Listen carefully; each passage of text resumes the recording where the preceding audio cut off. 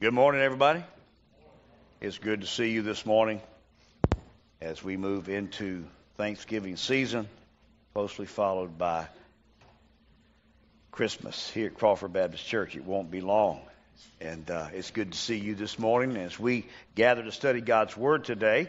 Uh, I want to invite you to turn with me to Genesis chapter 34. So if you have a Bible, and I hope you do, if you'll turn to Genesis chapter 34, Genesis chapter 34. This will be our second message from this chapter. And last week we did not get to conclude it, but we're going to do that this morning, Lord willing. And the next couple of weeks we're going to be in Genesis 35, Genesis 36. Then we will break for our Christmas series, and uh, we'll resume uh, after the holidays back in the book of Genesis. It's going to be good as we finish out the book of Genesis early next year. This morning, Genesis chapter 34, I'm going to read God's word to us. And as we did last week, I'm going to go ahead and read the chapter and set the stage. It's very important you understand uh, what's happening in this, this chapter. So please follow along in your Bible. If you need a Bible, there should be one in the seat uh, rack under the chair in front of you. Feel free to follow along in God's Word. Genesis chapter 34. The Word of God says this Now Dinah, the daughter of Leah, whom she had borne to Jacob, went out to see the women of the land. And when Shechem, the son of Hamor the Hivite, the prince of the land, saw her, he seized her and lay with her and humiliated her. And his soul was drawn to Dinah, the daughter of Jacob. He loved the young woman and spoke tenderly to her. So Shechem spoke to his father Hamor, saying, Get me this girl for my wife. Now Jacob heard that he had defiled his daughter Dinah, but his sons were with his livestock in the field, so Jacob held his peace until they came. And Hamor, the father of Shechem, went out to Jacob to speak with him. The sons of Jacob had come in from the field as soon as they heard of it, and the men were indignant and were very angry, because he had done an outrageous thing in Israel by lying with Jacob's daughter, for such a thing must not be done. But Hamor spoke with them, saying, The soul of my son Shechem longs for your daughter Please give her to him to be his wife. Make marriages with us. Give your daughters to us, and take our daughters for yourselves. You shall dwell with us, and the land shall be open to you. Dwell and trade in it, and get property in it. Shechem also said to her father uh, and to her brothers, Let me find favor in your eyes, and whatever you say to me, I will give. Ask me for as great a bride price and gift as you will, and I will give whatever you say to me. Only give me the young woman to be my wife. The sons of Jacob answered Shechem and his father Hamor deceitfully, because he had defiled their sister Dinah. They said to them, We cannot do this thing to give our sister to one who is uncircumcised, for that would be a disgrace to us. Only on this condition will we agree with you that you will become as we are by every male among you being circumcised. Then we will give our daughters to you, and we will take your daughters to ourselves, and we will dwell with you and become one people. But if you will not listen to us and be circumcised, then we will take our daughter and we will be gone. Their words pleased Hamor and Hamor's son Shechem. And the young man did not delay to do the thing because he delighted in Jacob's daughter. Now he was the most honored of all his father's house. So Hamor and his son Shechem came to the gate of their city and spoke to the men of their city, saying, These men are at peace with us. Let them dwell in the land and trade in it. For behold, the land is large enough for them. Let us take their daughters as wives, and let us give them our daughters. Only on this condition will the men agree to dwell with us to become one people, when every male among us is circumcised as they are circumcised. Will not their livestock, their property, and all their beasts be ours? Only let us agree with them, and they will dwell with us. And all who went out of the gate of his, of the city of his city listened to Hamor and his son Shechem, and every male was circumcised. All who went out of the gate of his city. On the third day, when they were sore, two of the sons of Jacob, Simeon and Levi, Dinah's brothers, took their swords and came against the city while it felt secure and killed all the males. They killed Hamor and his son Shechem with the sword and took Dinah out of Shechem's house and went away. The sons of Jacob came upon the slain and plundered the city because they had defiled their sister. They took their flocks and their herds, their donkeys, and whatever was in the city and in the field. All their wealth, all their little ones and their wives, all that was in the houses, they captured and plundered. Then Jacob said to Simeon and Levi, You have brought trouble on me by making me stink to the inhabitants of the land, the Canaanites and the Perizzites. My numbers are few, and if they gather themselves against me and attack me, I shall be destroyed, both I and my household. But they said, Should he treat our sister like a prostitute? Let me pray, and we will dive into this text today. Father in heaven, we do bow before you this morning. We thank you for the privilege of singing praises to heaven's King. And Father, we ask now that you help us as we study your word to hear with a clear voice the teaching of the Spirit from this text to us today. Oh God, I, I desperately need your help in this moment of preaching. Father, we need your help in hearing clearly and obediently from your word. And so, Lord, would you open our eyes and transform our hearts?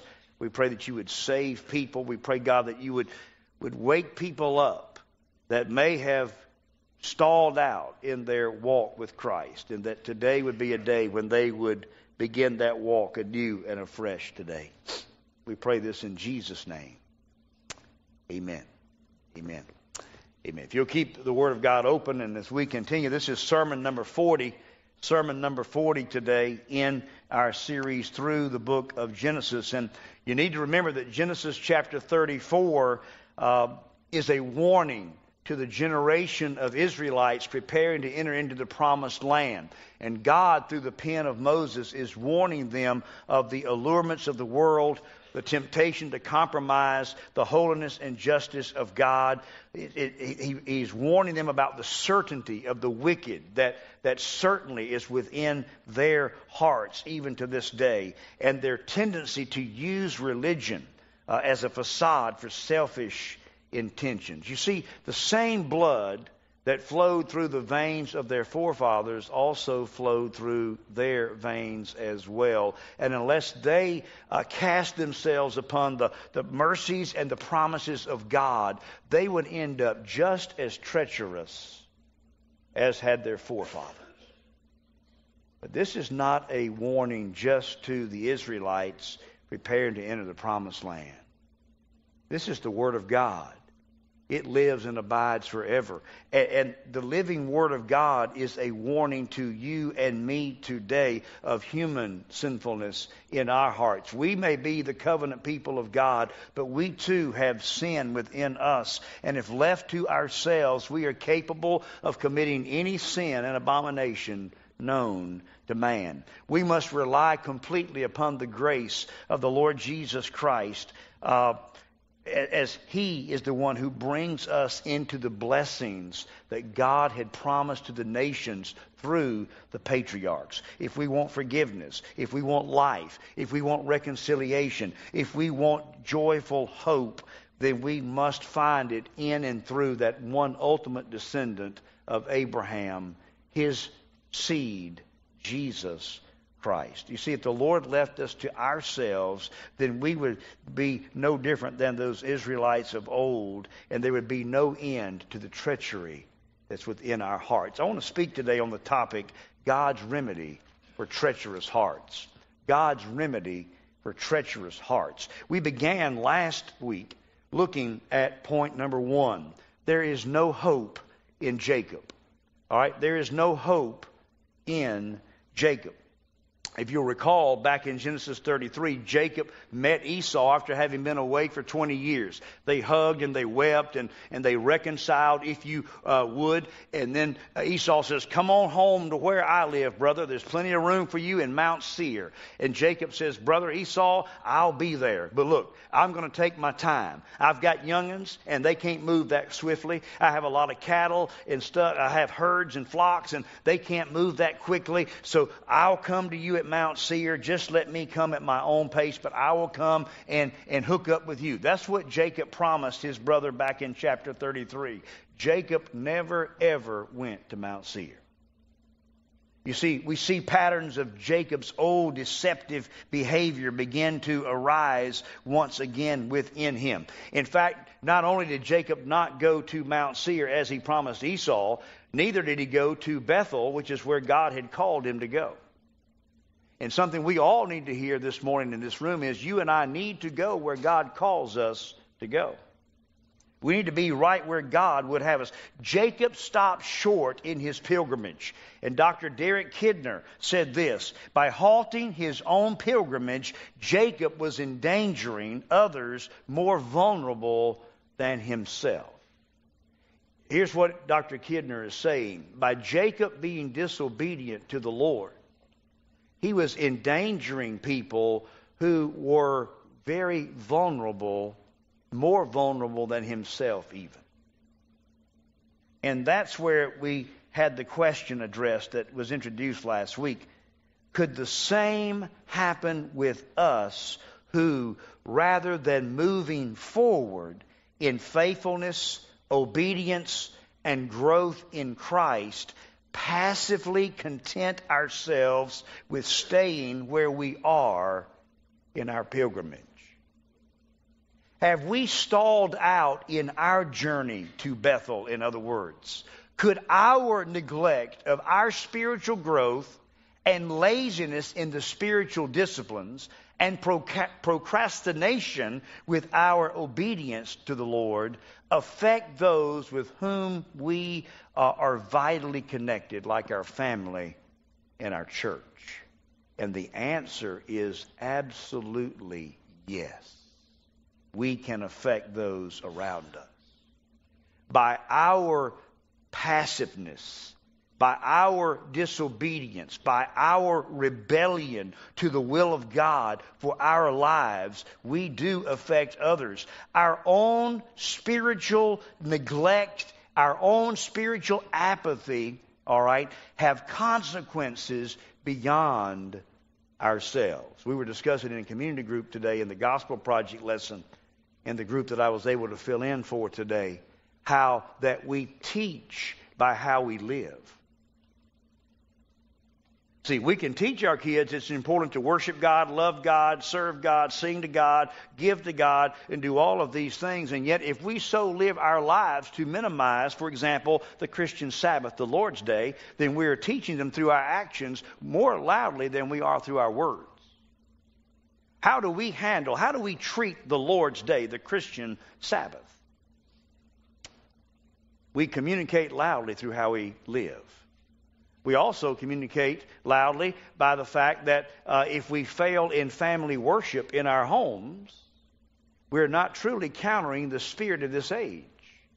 You see, Sunday morning worship is awesome. It's essential. We believe here at Crawford Baptist Church in the 5G life. God time daily, right? Uh, gather time, group time, give time, and go time. We believe in the 5G life here at Crawford Baptist Church. We do. We believe it, we teach it, but are we living it? You see, we're to have that God time daily. And as a part of God time daily, as a dad, I have the responsibility of leading my family in worship, reading the Bible to them praying with them and for them and teaching them to pray. This is every father's duty, you see. And when we fail to that, when we when we teach them how to swing the bat, hit the ball, uh, swing the club, change the oil, fix the tire, check the engine, when we do all of these things, how to mix up the recipe, how to find the sales that are going on, those are all wonderful things that can be taught. How to hunt, how to fish. All of these things are fine and wonderful. The problem is when we never ever uh, teach them about God. And every dad is indeed pastor dad in his home. And we have a responsibility to teach our children in our homes. And overall, as a church in America today, listen, we are failing in that. It is not the community group teacher's job to train your child in godliness and Christlikeness. It is not the student pastor's responsibility that your daughter gets saved. That is your responsibility. That is that's, that's dad and mom's responsibility. Now, well, what, what's that community group teacher? Can't we just sleep in then? Well, no, because you're supposed to lead them into small group. We believe in group time. We believe in gather time. And, and, and, we need a recovery. We need some repentance, and we need a recovery of understanding that, that when we were singing a moment ago, we aren't just singing words into the air, right? No, we're singing to a God who is watching you and listening to you as you worship Him. Worship is not a passive sport. Worship is an activity. It's of the heart. It's you're setting your mind's attention and your heart's affection upon the one true God, and we're praising Him for who He is and what He has done in and through the person of the Lord Jesus Christ. And so, our spiritual neglect, I try to tell my children, and I'm not overly consistent, but I'm trying to be. I try to say, stand up, sing He's worthy of that. Stand up and sing, Daniel Paul. Stand up and sing, Mary Grace. Don't be writing notes with your friends. Don't be, you know, looking around at everybody else. Worship God. He cares what you are doing in this room in this moment. And we oftentimes seem to forget. Our own spiritual neglect and apathy do have consequences beyond ourselves and on those whom we love and care for the most. Jacob failed to go where God called him to go, but Jacob also failed to practice uh, distinctiveness as the people of God. And we see that he was living among the Canaanites and he bought land among the Canaanites, and his family was apparently worshiping the false idols of the Canaanites. We see that uh, in, in, in chapter 33, 19 to 20, and in verses there in chapter 34. I mean, his own sons say, hey, hey, if y'all will get circumcised, we'll, we'll intermarry with y'all. We'll become one people. That's a threat. God's people are to stand out like a diamond in a coal mine. We are to be different. We are different. In Christ, listen, in Christ, you're already different. The problem with many in our churches is they aren't in Christ, and therefore they are not different. Your name may be on the Crawford roll, but it's not on the Lamb's Book of Life, and that is the roll that really counts. And so, you see, you are, if you have been saved, you are different. You have a spiritual appetite for God. We don't have to for it's not like taking castor oil or eating black licorice to read the Bible if you're a Christian. The problem is goats don't like the green grazing of Scripture. You see. And so you have to have a transformed heart. And so if you're hard hearted toward God and you reject the Word of God, as we had in our lesson today, then that leads to God's judgment upon you. And that's what was happening with Jacob. You see, partial obedience is actually total disobedience. And Jacob knew this was happening, but apparently he didn't take any steps to stop this. He did nothing about it since they were living among an idolatrous people. They were beginning to adopt idolatrous ways. Just over time, they became like the people around them. And listen, the Word of God in 1 Peter chapter 1 tells us to be holy because the Lord our God is holy. And again, there are people in this room today who have one foot in the church and one foot in the world, and you have more weight leaning on the foot that's in the world than the one that's in the church. And that leads you to be miserable. You do not enjoy reading the Bible. You don't enjoy community group. You don't mind if you miss worship service. If you miss a ball practice, you're all up about that one. But you can miss church for a month and it don't bother you. As long as I get the big one with the most points, I'm cool. You see, godly people, people who have been regenerated, have hearts for God and you're going to long for God and the people of God. Jacob was failing in these areas. He, he lost the distinctiveness of being a, a, a, a, man of God. He, he, he, he did not go where God had commanded him to go, and he was passive. One of the great sins of, of, of manhood, he was passive when his daughter had been defiled by Shechem. He was passive. And he was passive when his own sons retaliated, and Simeon and Levi killed the city of men in the city of Shechem. He was passive. In fact, he doesn't even mention it to the end of chapter 34, and he's more concerned about his own hide than he is anything else, than he was about the immoral actions and sins of his sons, Simeon and Levi, and destroying an entire city of men. When he learned of defy, Dinah's defilement by Shechem, he, he seemed to do nothing. Instead, he gave that over to the, his sons, who were fiery hot mad, and they had very little clear headedness about them. And then his own sons used the, the covenant sign that God had given them, circumcision, as a ruse, right, to get those uh, Canaanites to be in pain where they couldn't move and defend themselves. And then Simeon and Levi went and killed every man in the village. The question is, where was Jacob? Where was Jacob? He's the father. He's the patriarch. Why did Jacob not take action? Why did he not take action? It was not until his deathbed. We'll see it in Genesis chapter 49, verses 5 through 7. As Jacob is lying on his deathbed, does he finally rebuke and bring justice Simeon and Levi. You see, Jacob's failures affected the people he was charged to lead. How are your failures affecting the people you are charged to lead? Do you lead your family consistently in worship? Or do you make excuses?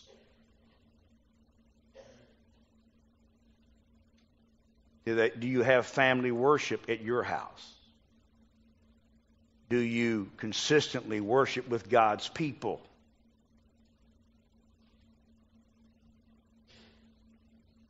Or are other things priorities?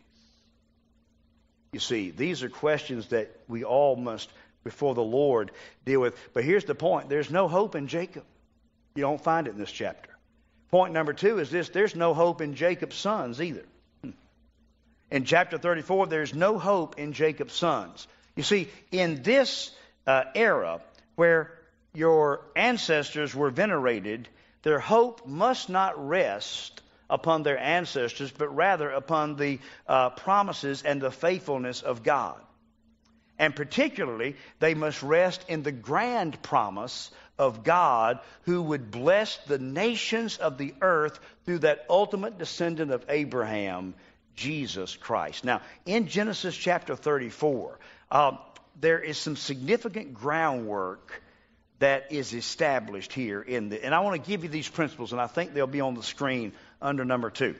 Some important groundwork had to be established in this graphic narrative. Here's number one we need to have a realistic rather than idealistic view of our heritage. We, we need to have a realistic rather than an idealistic view of our heritage. Our forefathers were sinners I mean, at their very best, they were sinners. Listen, there's only been one man in all of human history who had no sin, and his name is Jesus. The rest of us, we are all sinners. We are all descendants from a drunken, um, uh, from, a, from a corrupt farmer, Adam, and a drunken sailor, Noah. We're all descended from Adam and Noah. That's how this thing works. And so we need to understand that we can't find righteousness just simply because of our ancestry. The Jews of Jesus' day said, man, we're, we're children of Abraham. Abraham. And so we're righteous in the sight of God. And Jesus says, No, you're not. And one way you can know is because you want to kill the very Son of God. And if you were righteous, you would receive me and welcome me and bow at my feet and worship me and honor me. Because my Father has sent me to this world for a reason. And so we need to have a realistic rather than an idealistic view of our heritage. Number two, we need to understand that we do not inherit righteousness from our forefathers. We do not in, inherit righteousness from our forefathers. For one thing, you don't find much righteousness among them. Amen? And for another, the righteousness that gives us the right standing before God comes only from God himself. Romans 3:10 says that there is none righteous, no not one. None of us, ancestors included, there is no righteousness. We need to have an, a realistic understanding of our family tree. And we need to understand that our righteousness does not come from our ancestors or the works that we do, but only through the person and work of the Lord Jesus Christ. And then, number three, we need to see that all are sinners in need of deliverance from sin through the one descendant of Abraham, who would bless the nations. These are truths that we find under the surface in Genesis chapter 34 that we need to understand.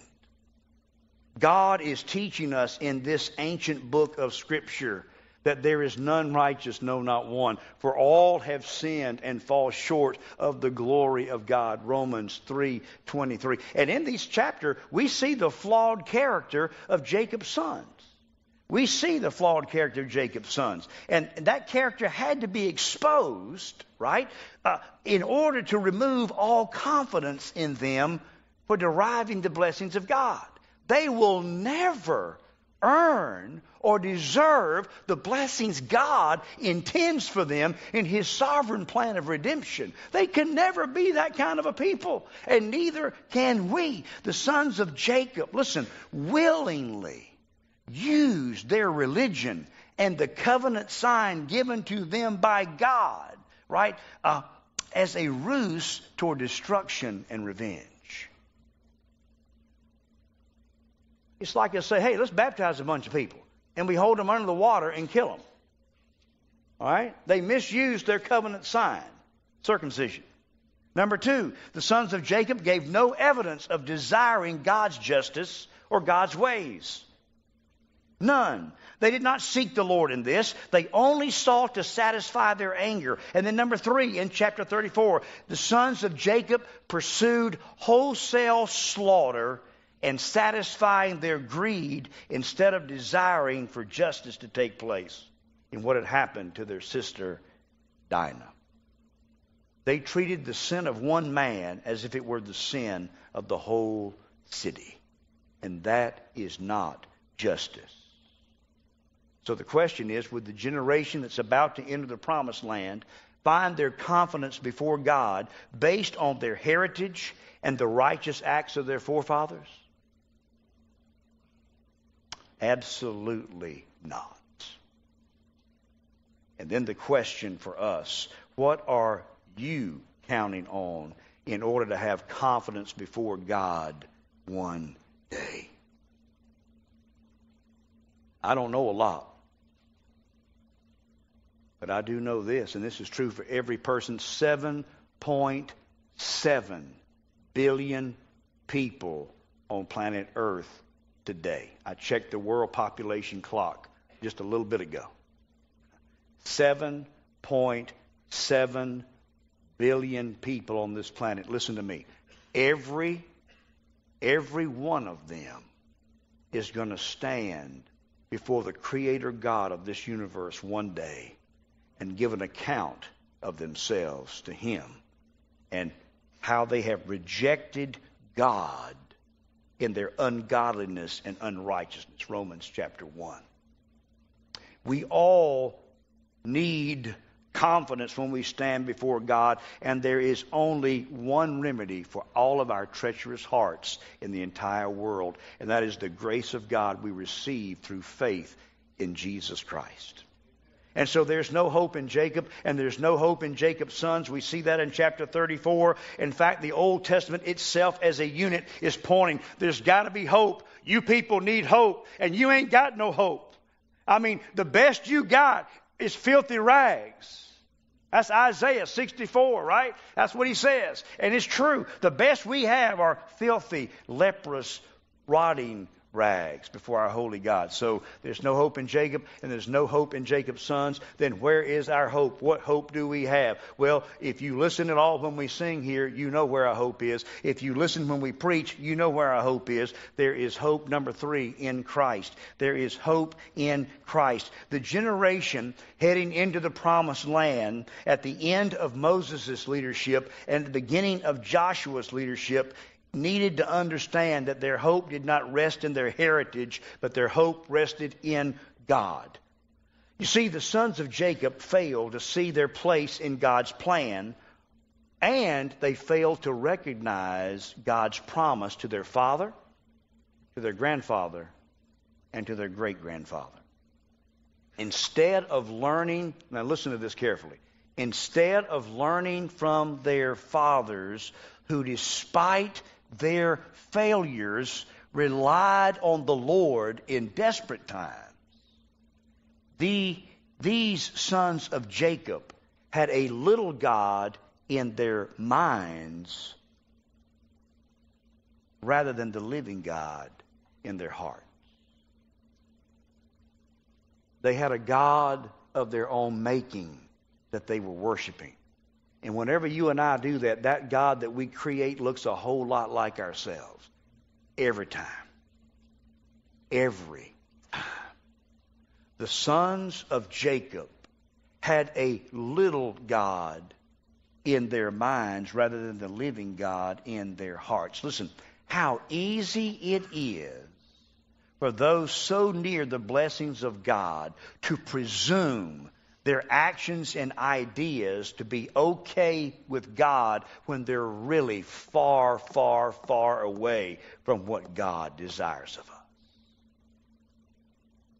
You see, to be a part of a covenant family like Crawford Baptist Church can be a dangerous thing because, as it says in Hebrews 6, we, we experience the Holy Spirit here as we worship, as we're in, in our community groups, as we sing, as we study God's Word, as we minister to one another, as we pray, as we've done in this worship service, as we prayed Thursday night in our special night of prayer, which was phenomenally wonderful, as we prayed Wednesday night in our prayer meeting gathering we have every week, it was phenomenal. And, and so we experienced God, we experienced the Holy Spirit in these moments, and that can be very dangerous because to whom much is given, much is required.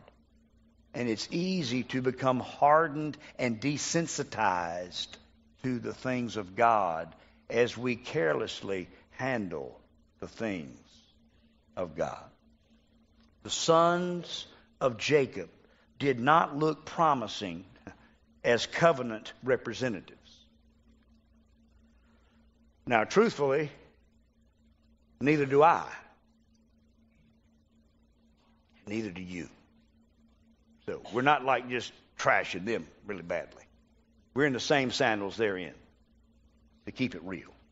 The sons of Jacob did not look promising as covenant representatives. They were to be, right, the torch bearers. They were, they were to carry the, the torch of God's covenant. That's who these sons were to be. They were to be the torch carriers, the torch bearers of God's covenant with his people when Jacob died. And how unreliable they were. I mean, Simeon and Levi were, were, were only the start of the unraveling of Jacob's sons. We're going to see more and more as we keep reading. It doesn't get better, it gets worse. And here's the point if you've heard nothing today, but I want you to hear this. Here's the point it's not the sons of Jacob that maintain the covenant of grace. It is not the sons of Jacob who maintain the covenant of grace. Rather, it is God who maintains this covenant that he makes with his people. You see, a few weeks ago in a community group, if you were in the Gospel Project, you studied the New Covenant, Jeremiah 31. And that new covenant, you see, is the law that God writes on our hearts. It's the, it's the covenant that enables you and me to have intimate knowledge of who God is. It, it, it's, a, it's a covenant whose promises are eternal. Forgiveness is eternal in the new covenant. And when you think about Hebrews 7 for a moment, Hebrews 7:22, the Bible says, "This makes Jesus the guarantor of a better covenant. Amen. Hebrews 7:22. You see, you see, it's not the sons of Jacob having to maintain this covenant of grace. We can't maintain the covenant of grace. God maintains the covenant of grace that he makes with you in his grace. You see, salvation is initiated by grace, it is maintained by grace, which is His grace. The verses we learned for this week, Ephesians 2 8 and 9, for you have been saved, right? by grace through faith, and it's not your own doing. It's the gift of God, not a result of works, so that no one may boast. Those are the verses that we as a faith family were memorizing from last week to this week. Those are the verses you've etched upon your heart by God's grace this week. It's what we as parents have taught our children this week. You say, No, I didn't teach my kids that this week. And remember how we ended the first point?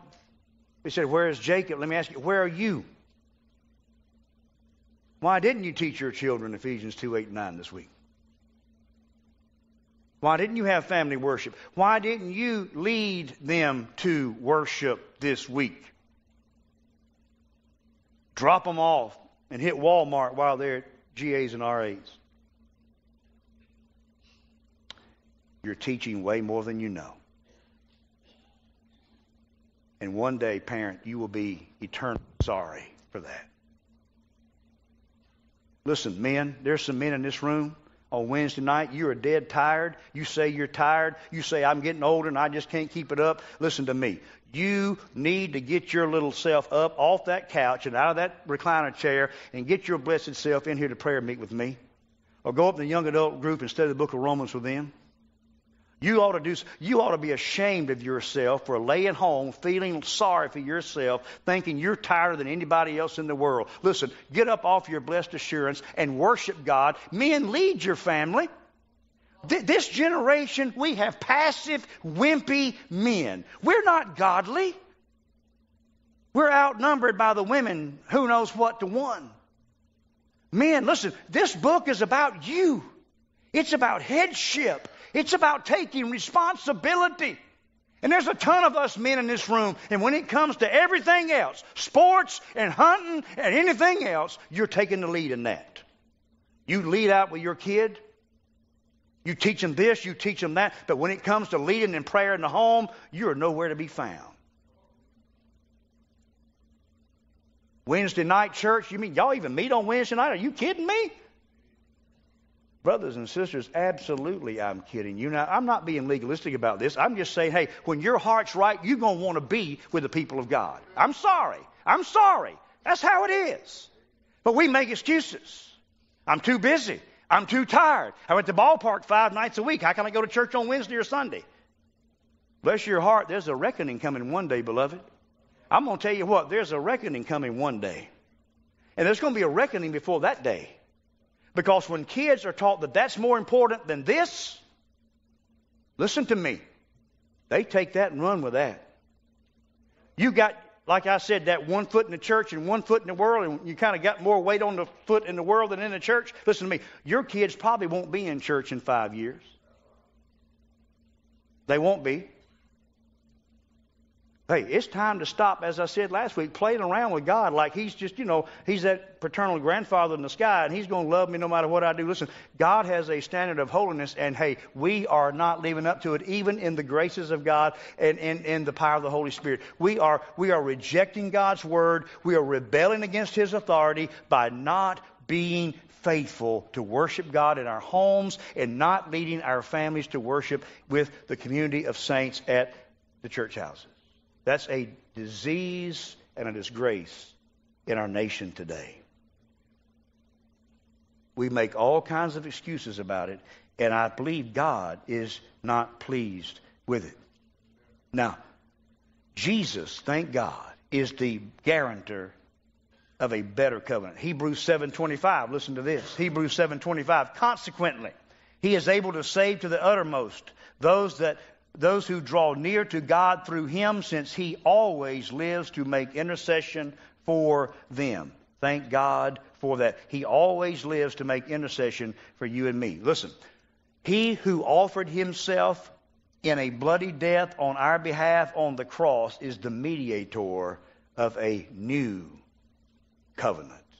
And the new covenant produces spirit wrought change in our lives. Listen, our confidence does not rest in the accomplishments of Jacob's sons, but in the faithful promise and work of Jesus Christ.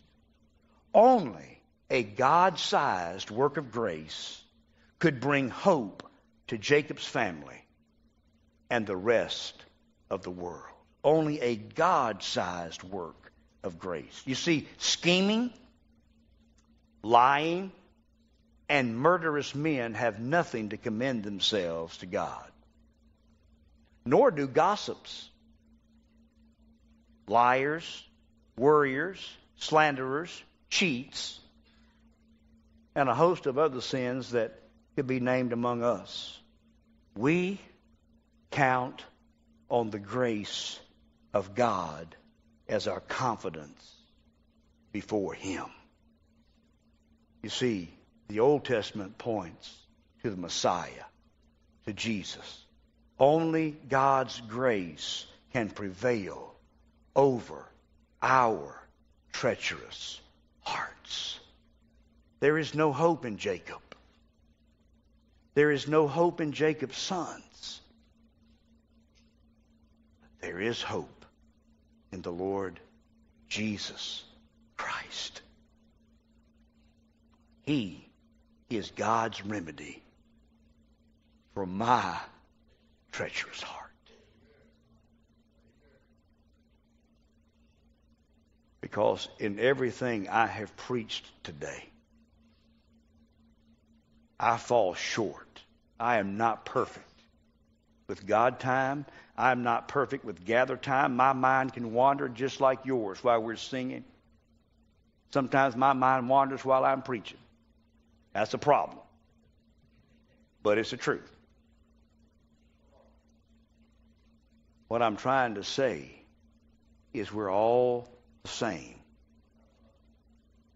It's not my ancestry.com that's going to get me in. My ancestry dooms me. It's not that I can earn righteousness. I can't inherit righteousness from my forefathers. They had none of their own. What they had was an alien righteousness imputed to them because they had placed their faith in the Lord Jesus Christ. And apart from Him, there was no hope in them. But what I am saying this morning is there is good news for us all. We not only sing about hope, there is hope. This Bible proclaims a never ending hope in the person and life and work of Jesus Christ. And the Bible says that there is good news for everybody in this room. And if I am a Christian, and I'm a Christian, I just struggle with things. I do. We always say around here it's okay not to be okay. It's just not okay to stay that way. Amen? See, when I find a Christian man or woman who says, you know, everything is fine, no problems, bank account's up, blood pressure's down, I'm good with the Lord, that smug attitude. In fact, he called me today asking me a little counsel. well, I know better than that because the book says that uh, he didn't ask anybody for advice. See, when I see a man say, you know, I, I am struggling at being a godly dad, I'm struggling at being a godly husband, I'm struggling at being a godly man. Sometimes I wonder if I'm really saved or not. I say, hey, now that brother, he's walking with Jesus. Men, there's good news for you and me today. I know I addressed us men a little bit. We men need to be addressed some.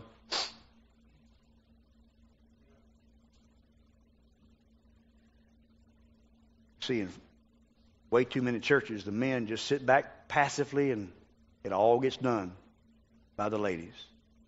They bring the kids to this and they take the kids to that.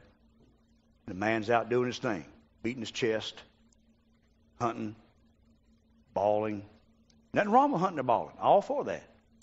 But don't neglect your spiritual responsibility to your children. what I'm saying. But here's the thing. There is none righteous, no, not one. For all have sinned and fall short of the glory of God. And the wages of sin is death, but the free gift of God is eternal life through Christ Jesus our Lord. The Bible says, But God shows his love toward us in that while we were still sinners, Christ died for us. And that if we will confess with our mouths and believe in our hearts that God has raised him from the dead, right, then, you know, if we'll confess with our mouths that Jesus is Lord and believe that God has raised him from the dead, we shall be saved. For everyone who will call upon the name of the Lord will be saved. The gospel is good news that the just and gracious God of the universe looked upon hopelessly sinful people, and he still sent his only Son, Jesus Christ, God in human flesh, to bear his wrath against our sin, my sin, your sin. And to show his power over our sin by resurrecting Jesus' dead corpse from the grave so that everyone who will turn from their sin, that's repentance, and believe in Christ, that is faith, they will be reconciled to God forever. That is good news any day of the week. And I love you. And I want to always preach the truth to you. I will give an account one day. We all will give an account one day. I for how I preach it, you for how you receive it and respond to it. And so I love you and I pray God's blessing of grace on each one of you today. Would you pray with me?